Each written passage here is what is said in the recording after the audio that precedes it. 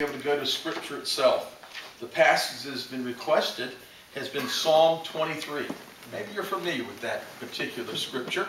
And uh, if feel free just to join right in with me as I recite it and share it with you. The Lord is my shepherd, I shall not want. He maketh me to lie down in the green pastures. He leadeth me beside the still waters. He restoreth my soul. He leadeth me in the paths of righteousness for his name's sake. Yea, though I walk through the valley of the shadow of death, I will fear no evil. But thou art with me. Thy rod and thy staff, they comfort me. Thou preparest a table before me in the presence of mine enemies. Thou anointest my head with oil. My cup runneth over. Surely goodness and mercy shall follow me all the days of my life, and I will dwell in the house of the Lord forever.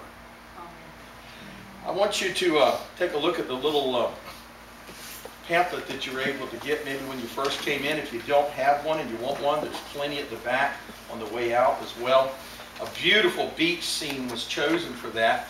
And I know, like you do, being from this area, you can go down to the beach on any given time, maybe see a sunrise just like that. On the west coast, it's going to be the sunset. But I want you to imagine, if you will, along the shore of that particular scene right there, the footprints that you many times can see along the shore. I want to share with you the reading of the footprints in the sand. One night a man had a dream. He dreamed he was walking along the beach with the Lord. Across the sky flashed scenes from his life, and for each scene he noticed two sets of footprints in the sand. One belonging to him and the other to the Lord. When the last scene of his life flashed before him, he looked back at the footprints in the sand, and he noticed that at many times along the path of his life, there was only one set of footprints.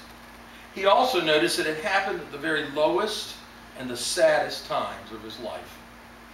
And this really bothered him, and he questioned the Lord about it. Lord, you said that once I decided to follow you, you'd walk with me all the way.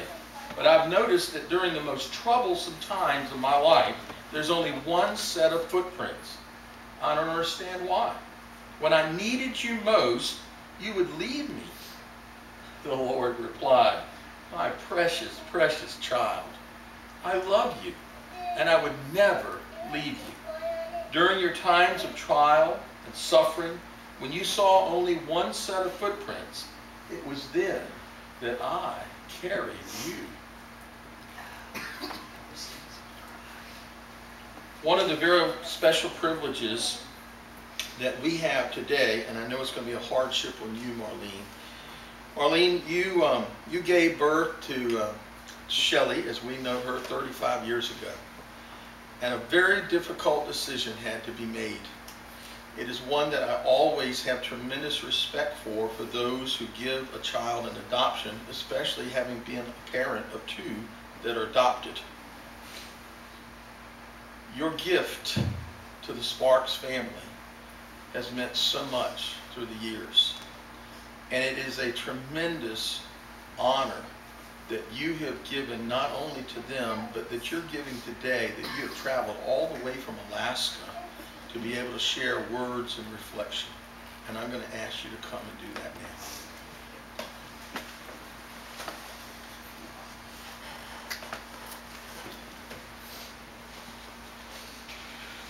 I'm a little nervous, so please bear with me.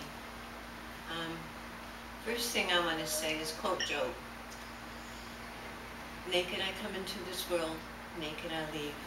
The Lord giveth, and the Lord taketh away. Praise be the name of the Lord. Okay.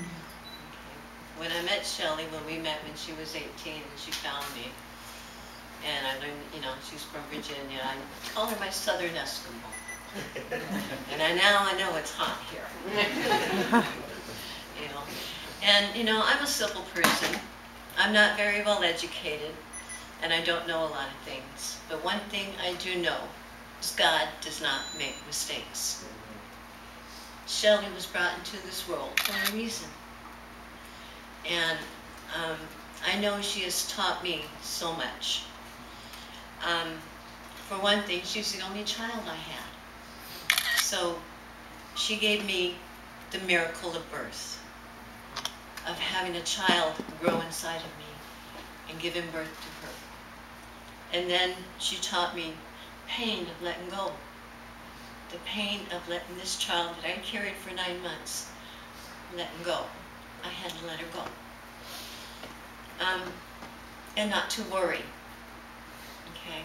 Because I know I couldn't give her a good life. And I knew that whoever adopted her would give her a better life than I could have.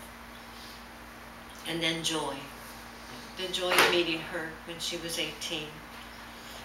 Of, of being able to hug this child again.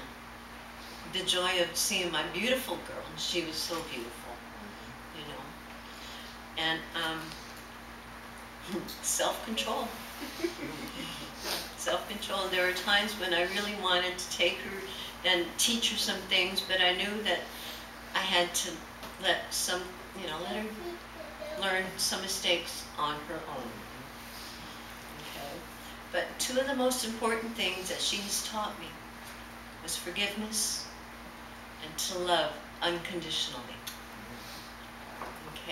No matter how much she upset me, no matter how much anger she showed me, it is said in John, his last commandment before Jesus died was to love each other as much as he loves us. And that's unconditional love. And it don't matter how much Shelley affected me, negative or anything, I had to love her. And I loved my daughter, Shelley. And she was always, always welcome back into my house, no matter what she did. And um, to the to um, her friends that showed up today, I want to read this poem for you guys. If tomorrow starts without me. If tomorrow starts without me and I'm not there to see, if the sun should rise and find your eyes all filled with tears for me, I wish so much you wouldn't cry the way you did today, while thinking of the many things we didn't get to say. I know how much you care for me, and how much I care for you. And each time that you think of me, I know you'll miss me too. But when tomorrow starts without me, please try to understand that an angel came and called my name and took me by the hand and said my place was ready in heaven far above and that I had, I'd have to leave behind all those I dearly loved. But as I turned to walk away, a tear fell from my eye. For all my life, I'd always thought I didn't want to die. I had so much to live for and so much yet to do. It seemed almost impossible that I was leaving you. I thought of all the love we shared and all the fun we had. If I could relive yesterday, I thought, just for a while, I'd say goodbye and hug you and maybe see you smile. But then I fully realized that this could never be, for emptiness and memories would take the place of me. And when I thought of worldly things that I'd miss come tomorrow, I thought of you. And when I did, my heart was filled with sorrow. But when I walked through heaven's gate, I felt so much at home. When God looked down and smiled at me from his great golden throne, he said, this is eternity and all I've promised you. Today your life on earth is past, but here it starts anew. I promise no tomorrow, but today will always last. And since each day is the same, there's no longing for the past. But you have been so faithful, so trusting, so true, though there were times you did some things you knew you shouldn't do. And you have been forgiven, and now at last you're free. So won't you come and take my hand and share my life with me? So if tomorrow starts without me, don't think we're far apart. For every time you think of me, please know I'm in your heart. Connie, this one's for you. Wait a minute, I'm sorry. Technology, just got shut off, Okay. and I want to make sure Father doesn't miss. I don't know.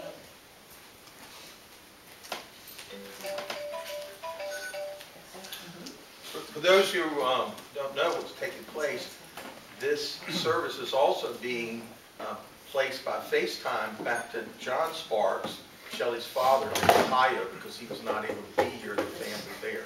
And so they want to make sure that they're included in, in the service. Okay. Is it ready? Okay. This one's for all parents. I'll lend you for a little time a child of mine, he said, for you to love while she lives and mourn when she is dead. It may be six or seven years, or 22 or three. But will you, till I call her back, take care of her for me? He'll bring his, she'll bring her charms to gladden you, and shall her stay be brief, you'll have her loving memories of solace for your grief. I cannot promise she'll stay, since from all earth return. But there are lessons taught down there I want this child to learn. I've looked the world wide over in my search for teachers true. And from the throngs that crowd life's lane, I have selected you. Now, now will you give her all your love, nor think the labor vain, nor hate me when I come to call to take her back again. I fancy that I heard them say, Dear Lord, thy will be done. For all the joy thy child shall bring, the risk of grief we run. We'll shelter her with tenderness, we'll love her while we may, and for the happiness we've known, we'll forever grateful stay. But shall the angels call her much sooner than we plan? we'll brave the bitter grief that comes and try to understand. I'd like to say, um, quote one more Bible verse, Isaiah 61:3. To console those who mourn in Zion, to give them beauty for ashes, the joy, the oil of joy for mourning, the garment of praise for the spirit of heaviness, that they may be called trees of righteousness, the planting of the Lord, that he may be glorified. And one more thing, let's see if I can say this. Bugra banima bini gumkin. That's Chupik for goodbye, my daughter. I love you. Thank you.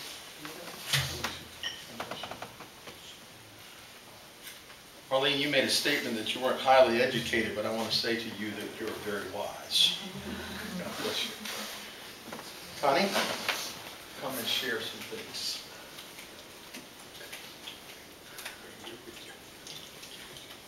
I have nothing but from my heart. Marlene gave me this picture. It is when Shelley went to meet her for the first time. And all her life, she never felt accepted. She didn't look like us. But she so, so looks like her mother. She does. This will, this means so much to me, you just don't know. Amen. When I first called Marlene to see if she was Michele's biological mother, she said, oh, she was so excited. And I thought, oh God, thank you. Because I didn't know what she, if she didn't want to meet her, I didn't know what I was going to tell Shelley. Because Shelley just, at 18, I said, not till you're 18. I want to finish raising you and then it's okay. She said, oh, she sounds just like me. And I thought, oh no. because if anybody knew Shelley at 18, they know, oh no. but Marlene was proud. Proud of her daughter. And happy that we had touched them back together. So Michele went for a trip to meet her. And they hit it off.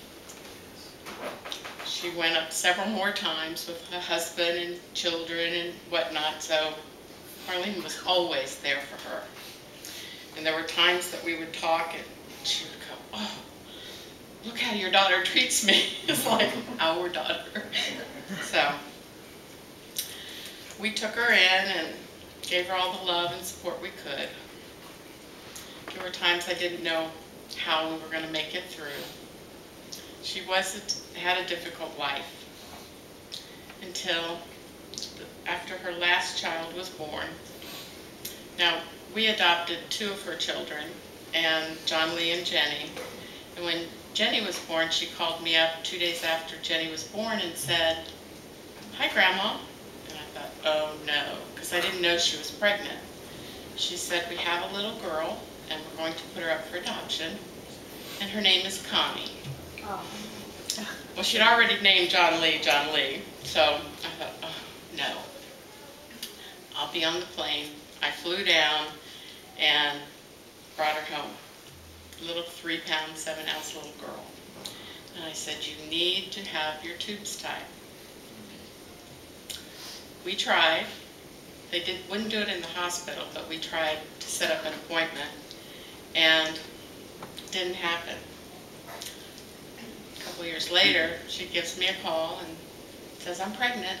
I thought, oh no, because I am now 60, my husband is 65, and I thought, we can't take another one. And my daughter Lisa said, I know something. And Beth took him in.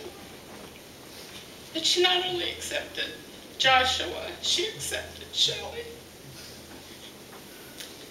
She got her life straight. She made her get a job and be responsible.